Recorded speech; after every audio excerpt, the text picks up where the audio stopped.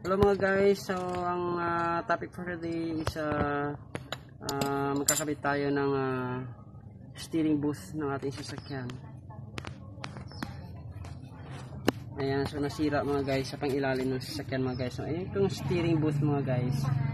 Ah, ito siya yung nagtutulak dun sa pagka magkabit tayo ng manibela. Siya yung nagtutulak dun sa gulong. Ayan, so syempre meron tayong ah, kung meron tayong ah, ah,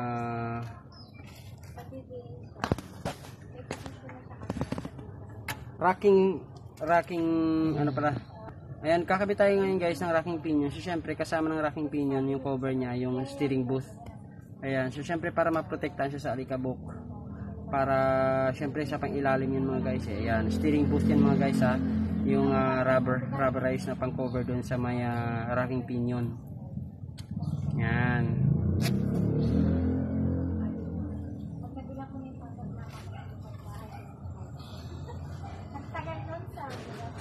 Ayan mga guys ha, mula mula ah, Maynila nag-travel pa tayo dito sa may ah, Olongapo City para ipagawa lang ito.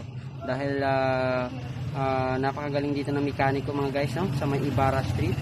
Ayan ang kanyang ah, pangalan si Boss Rene. Boss Rene, ang ah, expert dito pagdating sa mga ah, problema ng inyong sasakyan mga guys. Ayan. Racking pinion, cover niya ay ah, steering booth.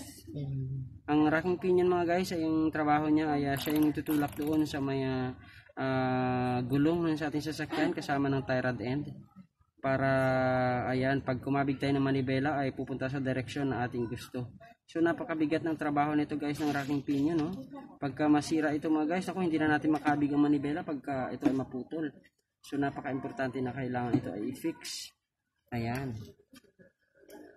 Ayan, si Boss Rene, nangangawit na yan, pero talagang siya ay expert yan, no, pagdating sa ah, ating sasakyan.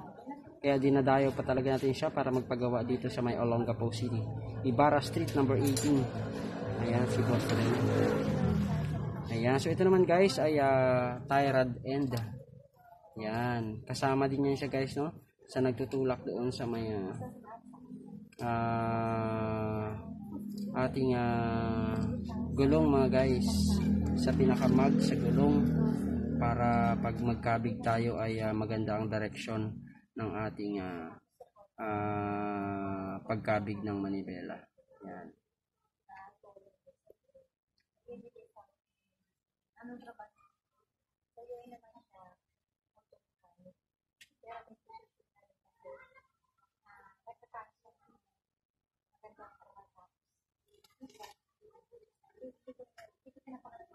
Yan, how to fix your uh, racking pinion and uh, uh, steering booth kasama ang tie rod end.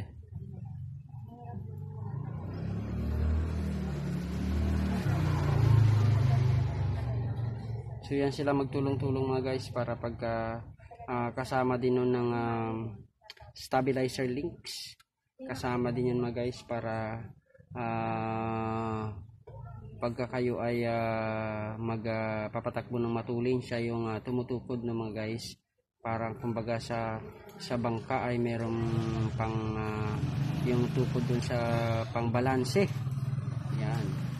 So lahat yan guys ay ah, may mga purposes at ah, may kanya-kanyang function sa ilalim ng sasakyan mga guys.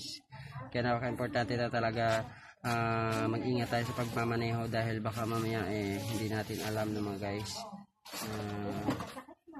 Ah, baka bumigay na pala ay mga ating ah, ah, spare parts ng ating mga sasakyan. Yan.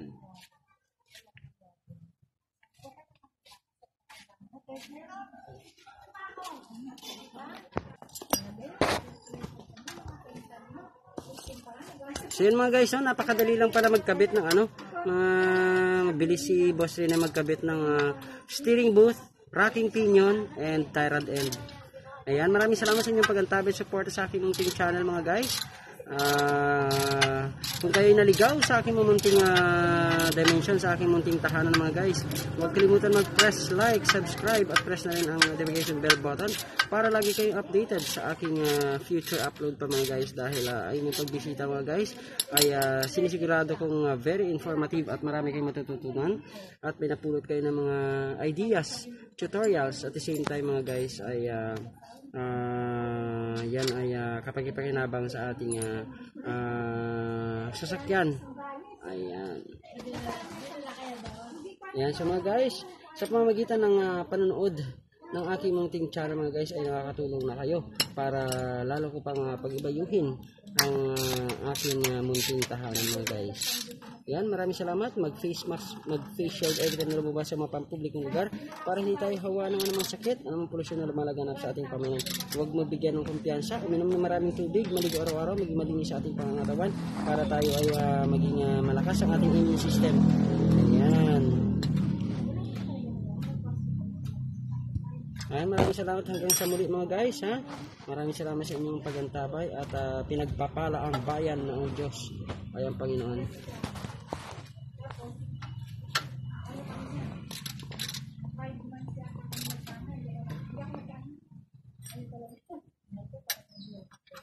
Ayan, rotor disc guys ha.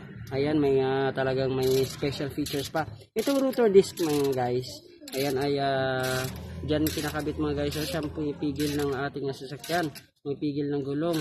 Ah, kasama ng preno ay pumipigil ang rotor disc. Ay ah, ah, yun talaga ang pinakabahayan ng ating ah, ah, caliper at ah, brake ah, brake pad para mapipigilan ang pagtakbo ng ating sasakyan kung sakaling tayo ay nasa ah, maalanganin sa pag ah, matuloy na pagtakbo o biglang pagpreno. Yan siya ang pinipigil mga guys. Nakasalalay dyan ang ating ah, um, ang ating ah, kaligtasan. Ayan mga guys.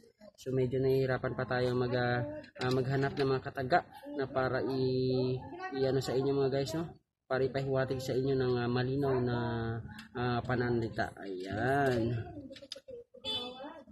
Ayan so mga guys, sa Mitsubishi Adventure to mga guys ha, ang ating model car ngayon. Ayan, manual transmission. Ah, Asian Utility Vehicle. Ayan, yan ang ibig sabihin ng AUV mga guys. Asian Utility Vehicle. Ayan mga guys, sa mga taga Olongapeño. Ayan, sana naman na nagkaroon kayo ng idea kung saan pwede magpagawa ng inyong mga sasakyan. Kung kayo ay ah, ng problema sa ah, problema ng inyong sasakyan mga guys, ito na kayo magpagawa kay Boss Rene sa may number 18 Ibarra Street, ah, East Bahak Bahak, Olongapo City. Alright? Ayan mga guys. Mag-ingat tayo lagi mga guys ha. Ayan, so hanggang dito na lang ang, at ah, hanggang sa muli. Maraming salamat sa inyong panonood at suporta sa aking YouTube channel.